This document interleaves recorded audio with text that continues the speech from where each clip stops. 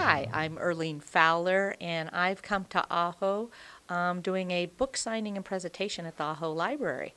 Um, but I, the reason my connection with Ajo is my, my cousins Ben and Howard Nixon grew up here, and their mother and my mother were sisters. So I used to, when I was a little kid, come to Ajo all the time back when the copper mine was open.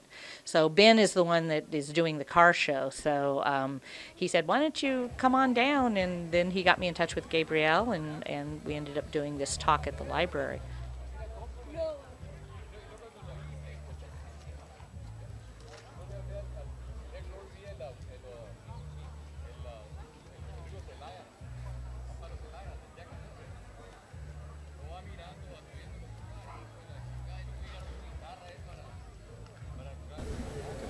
Yes, my name is John Baker, born here in Ajo, Arizona, 1963, in the hospital on the hill.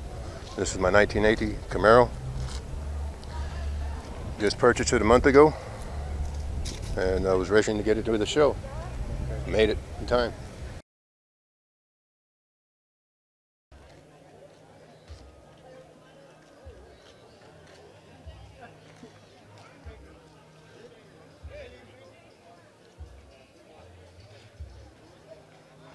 But we were talking i write murder mysteries so i said one of the first when i was talking to the people a few minutes ago one of the things i thought um, i said that wherever we go when you're a murder mystery writer the first thing you think is um, would this be a good place for a murder? So i was looking at my cousin's green and purple car and i'm thinking wow what would happen if there was a dead body in this car and someone opened the door and the body fell out and then somebody would have to solve the mystery? So who knows? Maybe ray or i our next book will be murder at the Ajo car show Thank you.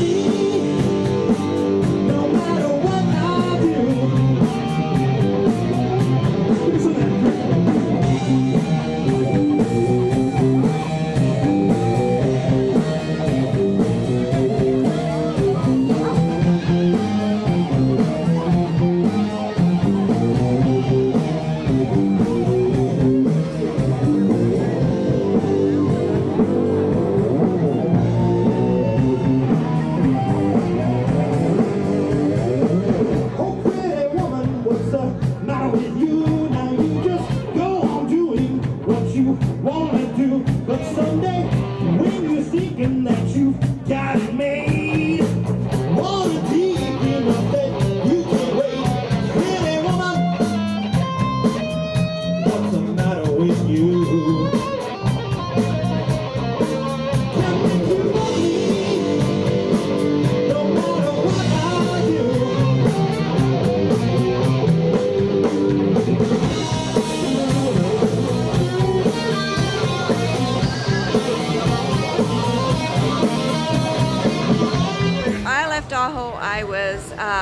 just graduated from high school, and I went to business college at Phoenix, which was quite a surprise being in a bigger town.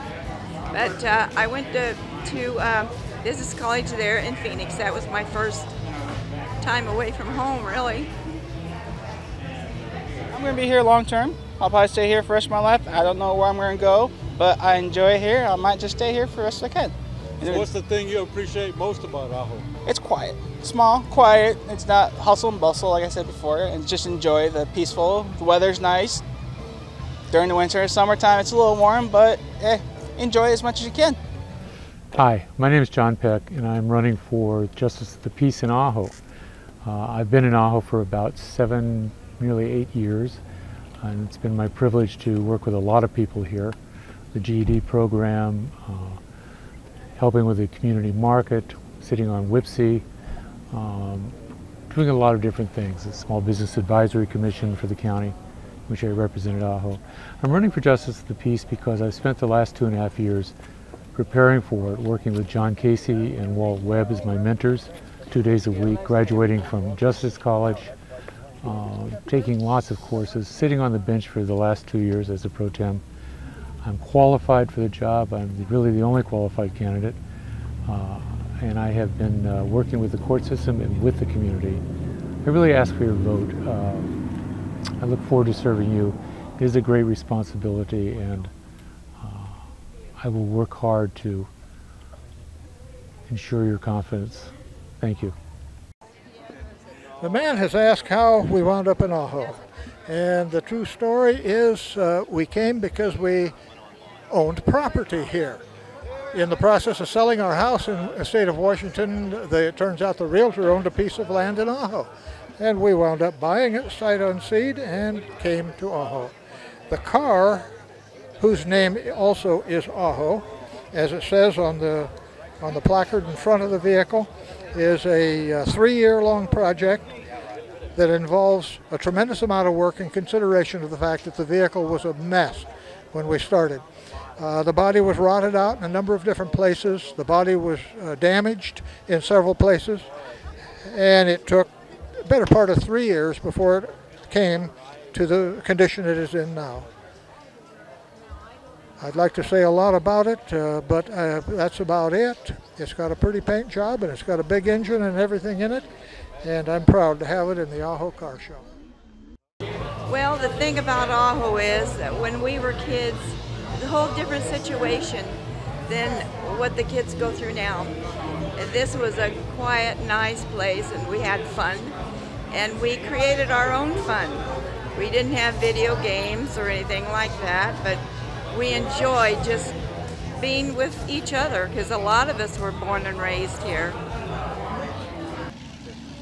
Hi, my name is Evelyn Mendez. I'm president of the senior class of 2015 and I would like for you to support and or donate for our senior trip which will be a cruise to Alaska on May 2015.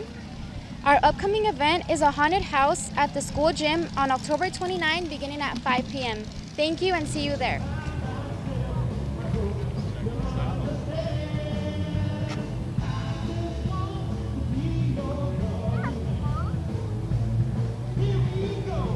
Hi, my name is Anton Anderson. I came in Ajo, Arizona about three years ago.